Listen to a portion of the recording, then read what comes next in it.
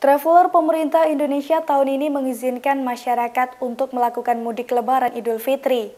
Untuk mendukung kebijakan pemerintah di tengah pandemi COVID-19, PT Kereta Api Indonesia menetapkan sejumlah syarat, terutama bagi penumpang untuk usia 6 tahun hingga 18 tahun.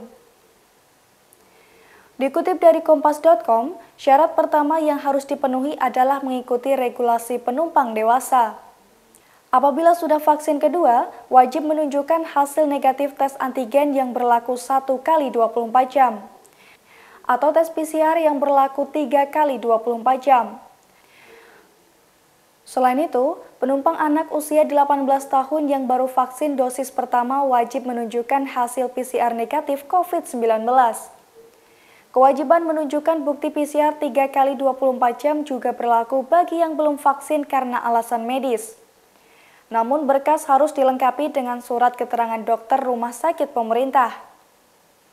Sementara, penumpang anak usia di bawah 6 tahun tidak wajib vaksinasi COVID-19 dan tidak wajib menunjukkan bukti screening negatif tes COVID-19. Melainkan wajib ada pendampingan yang memenuhi persyaratan perjalanan.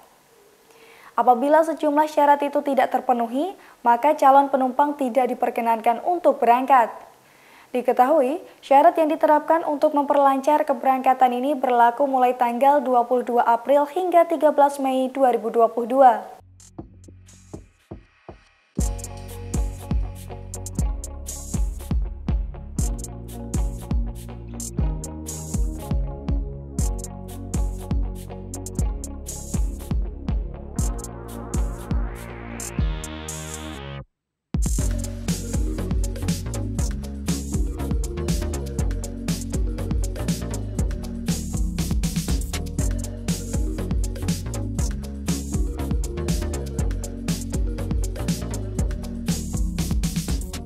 Terima kasih sudah nonton.